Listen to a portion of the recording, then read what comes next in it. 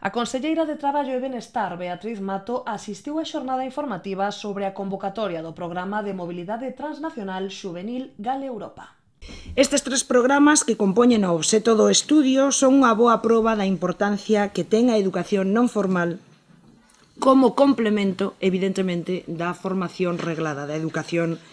formal. Estamos a falar de valores que dende a, a nosa perspectiva, e estou convencida de que este estudio tamén o ratificará rector, valores que cada vez se teñen máis en conta dende as empresas e dende os empregadores e que evidentemente creemos que tenemos a obriga de fomentar. Falamos de iniciativa, falamos de creatividade, falamos de traballo en equipo, falamos de capacidade de tomar decisións, falamos de solidaridade, falamos de tolerancia, falamos de de moitas cualidades e valores fundamentais que deben de acompañar tamén a educación eh, formal. Valores que as empresas, estamos convencidos, teñen moi en conta na súa elección